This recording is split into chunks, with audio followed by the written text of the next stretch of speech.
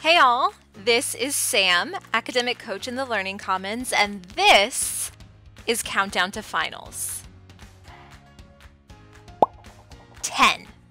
As we head into the final weeks of class, you should be reviewing all of your class notes in chronological order at least 10 minutes per day. 9. For a typical 3 credit hour class, you are likely to spend up to 9 hours a week studying and completing assignments. Keep up the pace in your exam prep. 8. Aim for at least 8 hours of sleep each night leading up to your exams.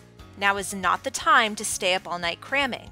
Sleep aids in retention of newly learned material. Use this to your advantage. 7. You should begin active study time for your final exams at least seven days, yes, one week before the test. This will give you ample time to ask your professor any final questions or seek out tutoring from the Learning Commons. 6. Want to start a study group? Do not exceed more than six students per group. Larger study groups tend to be a bit more disorganized. 5. When you start to get stressed, try out some deep breathing exercises. Close your eyes and breathe in deeply for 5 seconds. Then breathe out for 5 seconds. Repeat as needed. 4.